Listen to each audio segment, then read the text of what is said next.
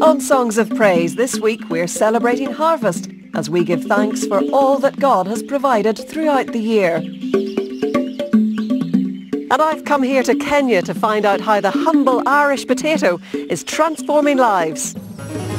Also on today's programme, we'll be meeting the men who risk their lives bringing food to our tables.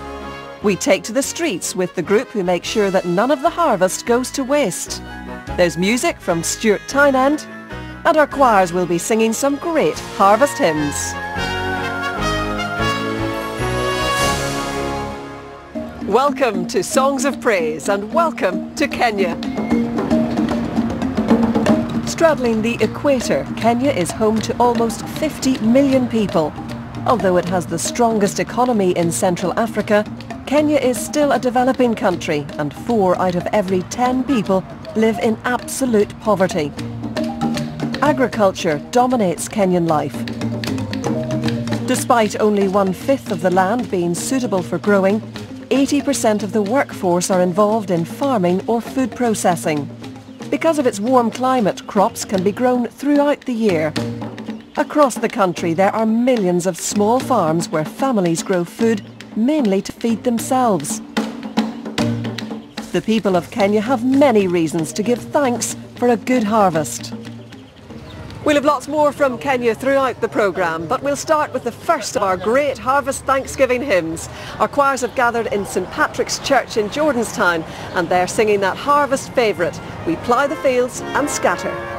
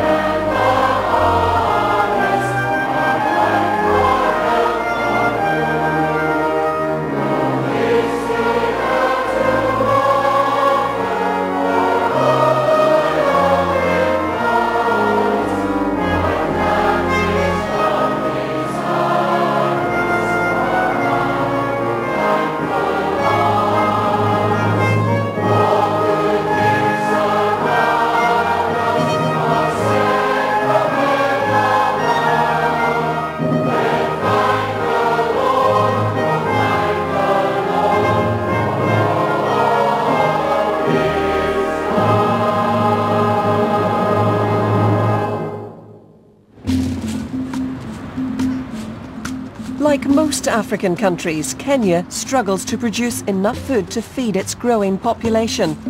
Potatoes, or Irish potatoes as they are known in Kenya, are an important crop. In the last decades, a combination of poor farming techniques and climate change has badly affected the size of the potato harvest. Derek Rolston is working with Kenyan farmers to help change that. So Derek, what brought you, an Irish potato farmer, here to Kenya? Well, I'd have to say, Claire, that that was a very strong sense of call or conviction from God to, I suppose, come and help others who were a lot less well off than ourselves. I had a feeling that the skills and abilities that I had learned through farming at home could be of use to small-scale farmers here in Kenya. Just how important are potatoes to the lives of Kenyan people? The potato is such a wonderful food source. It's very rich in vitamins and minerals. They're the second most important food crop in Kenya and having a good crop of potatoes is the difference between your family living in full nutrition or living with malnutrition. So what has caused the potato harvest to get smaller?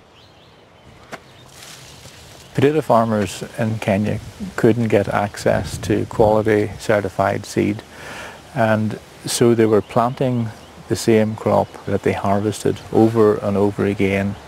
The problem there is that you get a build-up of diseases within the crop itself and it's passed on from one generation to the next. If you keep multiplying generation after generation, the yield will drop enormously. Working with other farming experts, Derek and his colleagues adopted a back-to-basics approach.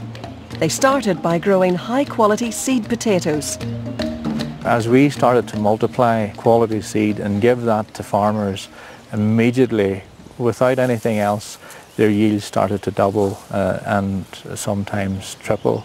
Considering that it has had no rain, it's absolutely amazing what you have here. When we started to teach them better methods and planting methods, spacing, where to apply the fertilizer, how to manage the crop, their production went up phenomenally. Isabella Paul was one of the first farmers to benefit from Derek's guidance. Since the death of her husband, Isabella has been responsible for feeding her extended family. What difference has meeting Derek made to your life, Isabella? Before I met Derek, and given up digging and um, planting potatoes because I was getting nothing. Isabella has been involved with the scheme for several seasons with amazing results. I started with 10 kg and now I'm producing 10,000 kgs. Wow. Yeah, it's huge. Very huge. with an abundant crop, Isabella can now sell her extra potatoes which benefits the entire family. My children are in school. Mm -hmm. I'm able to pay school fees, uh, and I'm very much happy. The first time I met Derek, I felt as if he is a, a man of God. So he had brought us from nowhere to somewhere. Isabella's story is so good to hear because it shows that all the work that we have put in is making an impact. It's transforming lives. It's putting more food on the table for Kenyan people and that for me as a farmer from, from Ireland is, is a great satisfaction.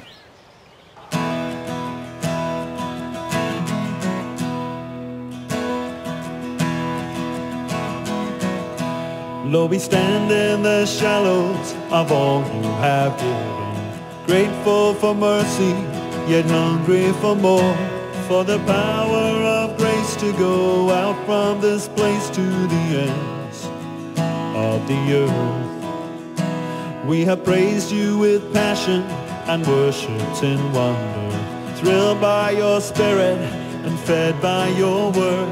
Now to fully delight in the riches of Christ, we must go to the world. For you live in the streets of the city, you stand with the weak and the needy, you walk the homeless and hungry and poor. And your hands are the hands I am lifting. Your voice is the life I am living. Your love longs to meet them, but how will they know? Unless I am willing to go.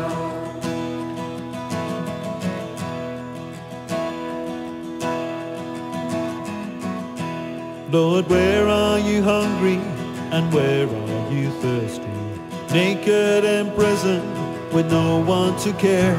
To give of our best to the poor and oppressed is to give back to you. So cause us to see with the eyes of the Savior. Give us a heart that will love as you love. Courageous compassion in words and in action brings hope to the world. For you live in the streets of the city. You stand with the weak and the needy. You with the homeless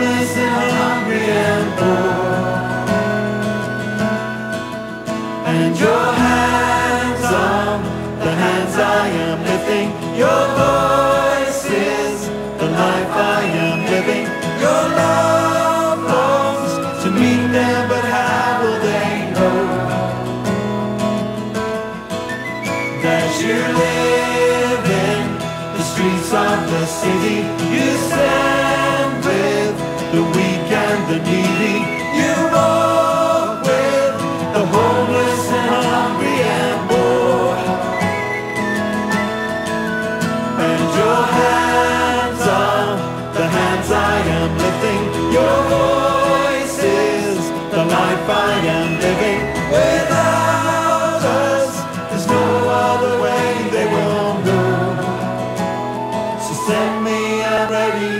Will